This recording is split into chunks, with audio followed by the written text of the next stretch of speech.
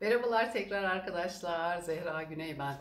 Refik Korkmaz eğitimlerinde dedik ki birinci modülünde bilinç ötesi dilini öğreniyorsunuz ve onunla şifa çalışmaları yapıyorsunuz. Peki ikinci modül? Arkadaşlar ikinci modülde de yaratıcının şifa nuruyla çalışma yapmayı, şifa çalışmaları yapmayı, şifalara vesile olmayı öğreniyorsunuz. Şifa nuruyla iyileştiremeyeceğiniz e, fiziksel hiçbir rahatsızlık yoktur arkadaşlar.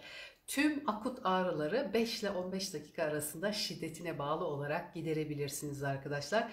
Çok basit yöntemlerle, imajinasyon yöntemiyle e, ağrıları giderebiliyorsunuz. Rahatsızlıkların yerini tespit edip onları iyileştirebiliyorsunuz arkadaşlar.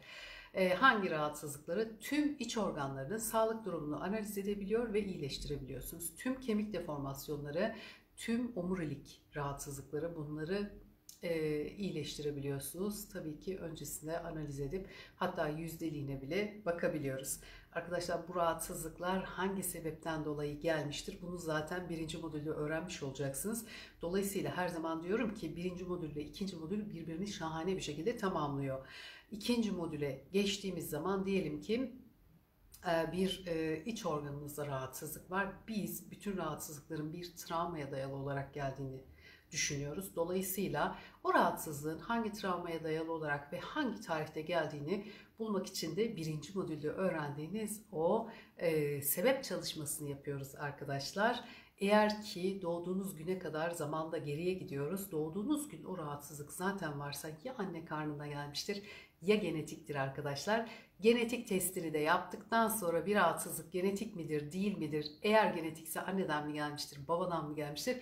Bunu da tespit ediyoruz arkadaşlar. Rahatsızlığınız genetik değilse ama doğduğunuz gün varsa o büyük bir ihtimalle anne karnında oluşmuştur. Anneniz size hamileyken bir travma yaşamıştır ve o travmanın sonucunda size de bunun etkisi geçmiştir. Ne yapıyoruz o zaman? Yeniden doğuş yapıyoruz. Yine birinci modülde öğrendiğimiz yeniden doğuş çalışmasını yapıyoruz. Sonrasında da akut ağrı çalışmalarını, iç organları için yaptığımız şifa çalışmalarını da ikinci modülden alıyoruz arkadaşlar.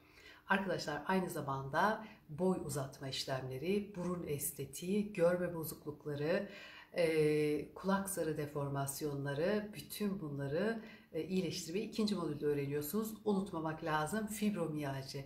Gerçekten fibromiyalji ikinci modülün çok çok çok önemli bir konusu. Çünkü kronik ve kas ağrılarından bahsediyoruz. Sırtta ve kollarda olan onları da çok rahat bir şekilde değiştirip dönüştürüyoruz arkadaşlar. Bu eğitimi benden almak isterseniz telefon numaralarımdan beni arayabilirsiniz. Selamlar, sevgiler.